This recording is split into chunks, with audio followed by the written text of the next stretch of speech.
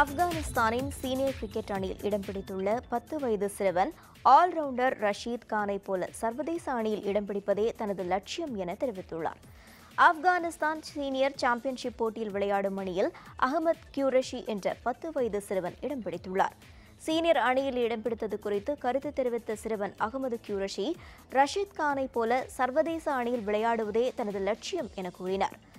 போரின் காரணமாக ஆப்கானிஸ்தான் மக்கள் திசை திருப்பப்பட்டுள்ளதாகவும் மக்களின் முகத்தில் மீண்டும் சிறப்பை கொண்டு வர வேண்டும் எனவும் அவர் தெரிவித்துள்ளார். அகமது மிகவும் சிறந்த வீரர் என்றும் எதிர்காலத்தில் அவர் பல்வேறு சாதனைகளை நிகழ்த்துவார் எனவும் அவரது பயிற்சியாளர் தெரிவித்துள்ளார்.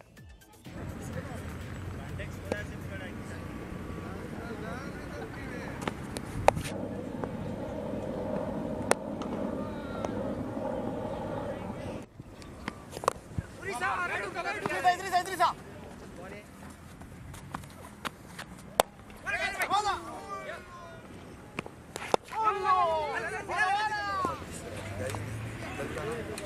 يا دكتور يا ورقصنا